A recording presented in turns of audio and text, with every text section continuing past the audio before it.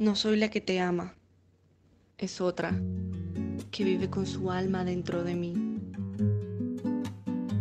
A veces, tú lo sabes, cierro los ojos para no caer en los tuyos. Te hablo del viento que escribe la mañana en su libro de viajes. Y te digo sonriendo que algún día me iré. Ella, la enamorada, cruza entonces las venas y me toca de lumbre al corazón. Y te mira en silencio a través de mis párpados te mira olvidándose en ti. Y de pronto te besa con mi boca y crees que soy yo la que te besa.